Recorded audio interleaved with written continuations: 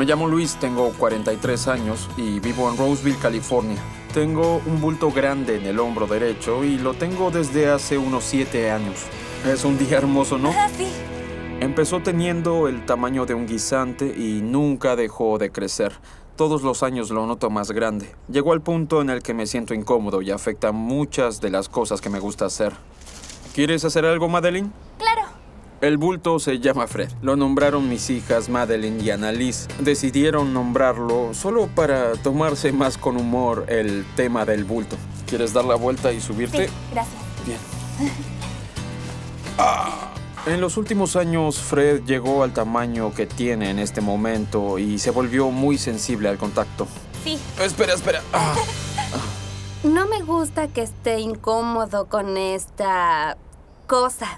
Hace que no pueda hacer algunas actividades. A Marilyn le gusta hacer gimnasia y este bulto arruina la diversión. Es un aguafiestas. Ahora vamos a correr muy rápido. Se siente como ah, una naranja madura. Sí, bueno, cuidado, no muy fuerte. La primera vez que vi a un doctor fue unos meses después de que me saliera el bulto y me dijo, "Ah, estoy seguro de que es un lipoma. Luego me dijo que no creía que fuera necesario hacer más estudios. Él creció con ustedes, es, es como su hermano, Fred el Terrible. Pero quería un diagnóstico 100% definitivo porque mi padre murió de cáncer hace unos años. Gracias por la sesión. Y algunos de los primeros síntomas fueron bultos en la piel muy parecidos al mío en el área del hombro y en la espalda. Y perder a mi padre a sus 59 años fue muy feo. No puedo decirlo de otra forma. No pudo pasar tiempo con Madeline y le hubiera encantado. Le hubiera encantado. Y ella no pudo conocerlo. Eso fue duro. Fue muy duro.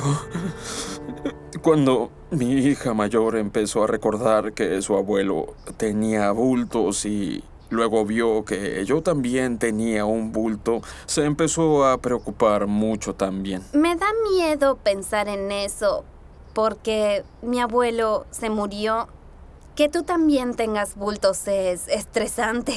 Me pone muy nerviosa. Me preocupa mucho que puedan ser peligrosos, que sean mortales. No quiero perder a mi papá, nadie quiere.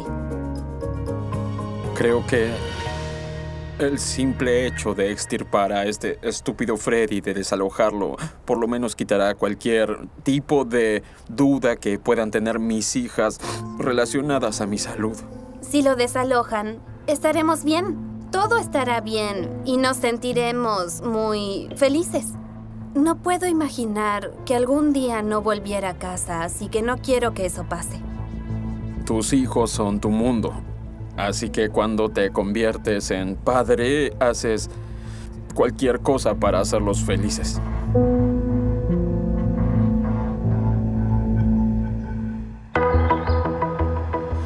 Confío mucho, mucho en que hoy finalmente desalojaremos a Fred. Espero que me puedan quitar este bulto y que no sea cancerígeno y que no sea peligroso. Muy bien, ponte cómodo. La doctora Lee vendrá enseguida. Bien, gracias. De nada. Estoy en un punto de quiebre, listo para que me lo quiten y si no, entonces no sé qué pasará. Toc, toc. Hola. Hola, hola. ¿Cómo estás? Estoy bien, ¿y tú? Bien, soy Sandra. Es un placer Hola. conocerte. Hola, Sandra. Mucho gusto. ¿Qué está pasando? Bueno, tengo...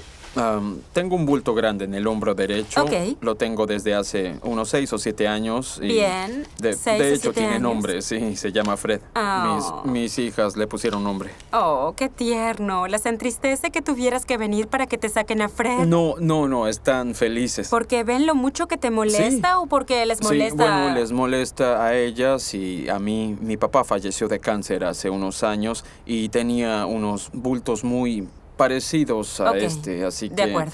tenía unos bultos en la espalda y en los hombros. Mi hija mayor lo recuerda y no le gusta ver que yo tengo algo así, Puedo aunque entenderte. yo intento tranquilizarla, pero Entiendo, ya sí, sabes. Porque te aman. Sí, sí, quiero vivir mucho tiempo. Sí, exacto. Luis me cuenta que su padre murió de cáncer y es entendible que esté preocupado porque tiene un bulto muy parecido al que tenía él. Comprendo que le preocupa que sea lo mismo que le pasó a su padre. Vamos a ver esta área. Bien. Oh, Sí. Es como si tuvieras una hombrera Sí, incorporada, ¿no? Ahí está. ¿Puedes, ¿Puedes flexionar? Sí, sí, flexiona. Déjame ver si cambia algo. Bien, ahora estíralo. Bien. Y ahora ponlo del todo hacia adelante, así. Sí, muy bien. Creo que podemos intentarlo. Hay posibilidad de que no sea un lipoma y de que no podamos sacarlo. Yo solo quiero cuidarte y espero que podamos sacarlo y presentártelo como si fuera tu pequeño Un bebé. bebito, bien. Sí. Estoy emocionado. Bien, ya regreso. Bien, suena bien, doctora Lee, gracias. Bien, chicas. Luis está acá y tiene, creo que, un lipoma del tamaño de una nectarina. Creo que podré sacarlo, pero siempre digo eso y este tal vez Eso no le dije sea el a caso. Christy porque pero no un lo digas, vistazo. ¿sí? Lo sé, pensé, creo que este será uno de sí, los buenos. lo toqué y sentí como una costilla ahí abajo. Somos todos profesionales, pero cuando vemos que hay una extracción potencialmente buena, nos emocionamos un poco. Dejaremos una cicatriz pequeña, se verá hermosa y preparen sus músculos porque necesitaré ayuda para que aprieten. ¿Sí? ¿Ven? Bien. Estuviste entrenando. Bien. Adiós. Es muy lindo saber que no tendré que pensar más en todo esto. Han pasado seis semanas desde la extracción perfecta de Luis. Sus hijas están aliviadas de que Fred sea un lipoma benigno y Luis volvió a hacer actividades con sus hijas.